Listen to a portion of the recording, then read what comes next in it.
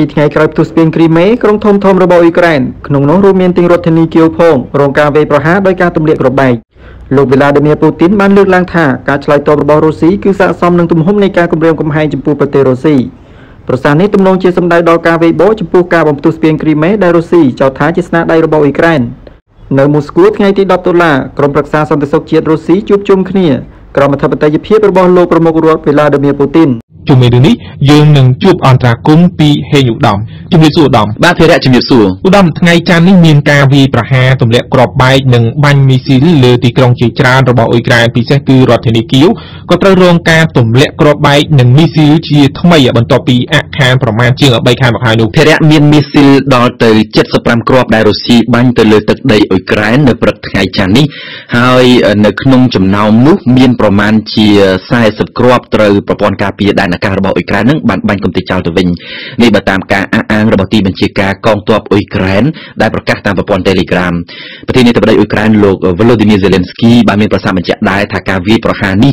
មានទាំងមីស៊ីលមានទាំងយន្តហោះដ្រូនទម្លាក់គ្រាប់បែកផង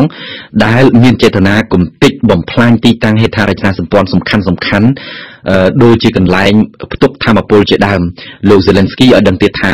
drone ទម្លាក់គ្រាប់បែកដែលរុស្ស៊ីប្រើនោះជាយន្តហោះ drone ទិញពីអ៊ីរ៉ង់ហើយបាញ់ចេញពីដែនដីរបស់បេឡារុសប្រឈមមុខទៅនឹងការវាយប្រហារយ៉ាងច្រើននៅថ្ងៃច័ន្ទនេះលោកប្រធានាធិបតីអ៊ុយក្រែនបានសរសេរនៅក្នុងបណ្ដាញសង្គម Facebook ផ្ទាល់ខ្លួនរបស់លោកថាពួកគេព្យាព្យាយាមគំទេចពួកយើងនិងចង់លុបបំបាត់យើងចេញពីផែនដីនេះតែម្ដង នេះបើតាមប្រសាសន៍របស់លោក Zelensky អឺភារៈមានវិនិស្សកម្មជាច្រើនកន្លែងមែនតែនតាមរយៈមីស៊ីលរបស់រុស្ស៊ីនេះគឺថាការវាយប្រហារនឹងទម្លាក់ជាលក្ខណៈបាញ់ស្រោចស្ទើរតែគ្រប់ទិសតែម្ដង ទីក្រុងខ្លះដែលមិនធ្លាប់ទាំងជាទីតាំងសមរភូមិជួរមុខសោះហ្នឹងក៏បែរជាត្រូវរងការវាយប្រហារដែរនៅពេលនេះជាក់ស្ដែងតែម្ដងគឺតំបន់ Lviv ហើយតំបន់ផ្សេងទៀតនៃរដ្ឋធានីអ៊ុយក្រែនហ្នឹងក៏ត្រូវរងមីស៊ីលដែរ ដូចគ្នាទៅនឹងតំបន់និងទីក្រុងជាច្រើនផ្សេងទៀតភារៈសម្រាប់តរយៈការបឋមនៅថ្ងៃច័ន្ទហ្នឹងបើយើងនិយាយតែនៅក្នុងតំបន់ភាគខាងត្បូងគឺតំបន់ Zaporizhzhia គឺមានអ្នកស្លាប់ដល់ទៅ13នាក់និងរបួសប្រមាណជា90នាក់ហើយកាលពី3ថ្ងៃមុនហ្នឹងនៅកន្លែងដដែលតំបន់ហ្នឹងគឺមានអ្នកស្លាប់17នាក់រួចមកហើយហើយបើយើងនិយាយនៅក្នុងរដ្ឋធានីគៀវវិញស្នងការនគរបាលរដ្ឋធានីបានបញ្ជាក់ថាមានយ៉ាងហោចពលរដ្ឋ5នាក់បានស្លាប់និងរបួស12នាក់ការទម្លាក់គ្រាប់បែកចុងក្រោយនៅលើរដ្ឋធានីគៀវហ្នឹងគឺនៅថ្ងៃទី26មិថុនាហើយតាំងពីនោះមកប្រហែលជា3ខែមុនហ្នឹងមិនឃើញមានការទម្លាក់ទេនេះគឺជារឿងថ្មីដែលយើងគួរកត់សម្គាល់សម្រាប់ថ្ងៃនេះផ្លូវមេត្រូ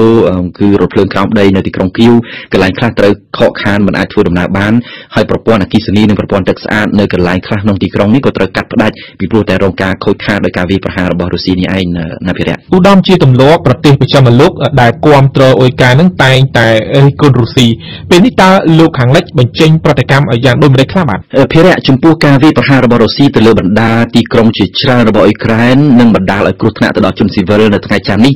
ប្រមុខការទូតសហភាពអឺរ៉ុប Joseph Borrell បាន បានថ្លែងក្តីតក់ស្លុតរន្ធត់ចិត្តជាខ្លាំងចំពោះអំពើសោកនាដកម្មជាថ្មីនេះនិងចាត់ទុកថានេះគឺជាឧក្រិដ្ឋកម្មសង្គ្រាមចំណែកប្រធានាធិបតីបារាំងលោកអេម៉ានូអែលម៉ាក្រុងបានថ្លែងក្តីព្រួយបារម្ភជាខ្លាំងរីឯអង់គ្លេសបានថ្កោលទោសយ៉ាងចាស់ដៃដែរតាមរយៈរដ្ឋមន្ត្រីការបរទេសអង់គ្លេសរដ្ឋបាលនៃទីក្រុងឡុងបានចាត់ទុកថាអំពើរបស់រុស្ស៊ីគឺមិនអាចទទួលយកបានទាល់តែសោះនិងបញ្ជាក់ទៀតថាទង្វើរបស់រដ្ឋបាលក្រុងមូស្គូនេះគឺជាសញ្ញាស្ដែងពីភាពកំសោយរបស់លោកពូទីននិងមិនមែនជាការសម្ដែងពីកម្លាំងទេ នៅលើបណ្ដាញសង្គម Twitter លោកប្រមុខរាជទូតអង់គ្លេសបានធានាបញ្ជាក់ស្មារតីសាមគ្គីជាមួយអ៊ុយក្រែនថាអង់គ្លេសគ្រប់គ្រងស្មារតីអ៊ុយក្រែនយ៉ាង ពេញទំហឹងរីឯប្រទេសបូឡាវីដែលនៅគៀកក្បែរនឹងប្រទេសចំនួនក៏ថ្លែងក្តីមិនសប្បាយចិត្តដែរចំពោះការបាញ់ប្រហារមីស៊ីលរបស់រុស្ស៊ីប្រមុខការទូតម៉ូដាវីបានឲ្យដឹងថាដែរថាមីស៊ីលរបស់រុស្ស៊ីចំនួនដល់ទៅ3គ្រាប់បានហោះរំលងដែនអាកាសរបស់ខ្លួនផ្ទុយទៅវិញបេឡារុសជាសម្ព័ន្ធមិត្តរបស់រុស្ស៊ីលោកប្រធានាធិបតី Alexander Lukashenko បានប្រកាសចោទប្រកាន់ថាអ៊ុយក្រែនត្រៀមវាយប្រហារប្រទេសរបស់ខ្លួនដូច្នេះអាស្រ័យទៅលើស្ថានភាពធ្ងន់ធ្ងរជាក់ស្ដែងបេឡារុសនឹងត្រៀមដាក់ពង្រាយកងទ័ពរួមគ្នាគឺកងទ័ពបេឡារុសនិងរុស្ស៊ីនៅព្រំដែនអ៊ុយក្រែនណាភិរៈ ឧត្តមចំណែកនៅរដ្ឋធានីមូស្គូឯនោះវិញលោកប្រធានាធិបតីរុស្ស៊ី Vladimir Putin បានកោះប្រជុំក្រុមប្រឹក្សាសន្តិសុខជាតិរុស្ស៊ីដើម្បីពិភាក្សាជុំវិញការវាយប្រហារទៅលើស្ពានគ្រីមេកាលពី48ម៉ោងមុននេះឧត្តមតើយើងអាចដឹងបានអ្វីខ្លះហើយពីជំនួបមេដឹកនាំក្បាលម៉ាស៊ីនរុស្ស៊ីនោះបាទភារៈនៅវិមានក្រមឡាំងប្រមុខរដ្ឋរុស្ស៊ីលោក Vladimir Putin បានកោះប្រជុំអ្នកនយោបាយជាន់ខ្ពស់រដ្ឋមន្ត្រីធំធំសំខាន់សំខាន់ថ្នាក់ដឹកនាំផ្នែកសន្តិសុខជាតិនិងមេបញ្ជាការយោធាគឺជាការប្រជុំតាមទម្លាប់តែវាជួនចំពេលសភាពការក្តៅត្បិតថាកិច្ចប្រជុំពិសេសនេះគឺរំលងតែ48ម៉ោងប៉ុណ្ណោះក្រោយពីស្ពានគ្រីមេត្រូវគេបំផ្ទុះគណៈកម្មការស៊ើបអង្កេតរុស្ស៊ីត្រូវផ្ដល់សេចក្តីរាយការណ៍ស៊ើបអង្កេតទៅដល់ប្រមុខរដ្ឋចំពោះរុស្ស៊ីហេតុការណ៍នេះគឺបង្កឡើងទៅដោយទីភ្នាក់ងារសម្ងាត់អ៊ុយក្រែនដោយមានជំនួយពីពលរដ្ឋរុស្ស៊ីនិងជនបរទេសទៀតផង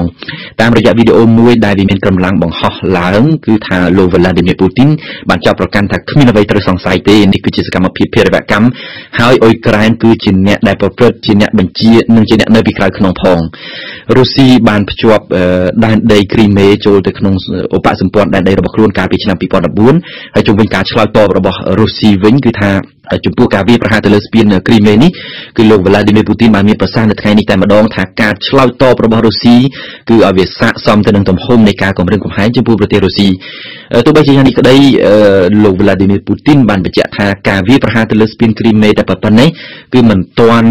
ដល់ថ្នាក់ជំរុញឲ្យរុស្ស៊ីនឹងប្រើប្រាស់គ្រាប់បែកនុយក្លេអ៊ែរនោះទេណាភិរិយអរគុណហេងឧត្តមសម្រាប់បទអន្តរាគមន៍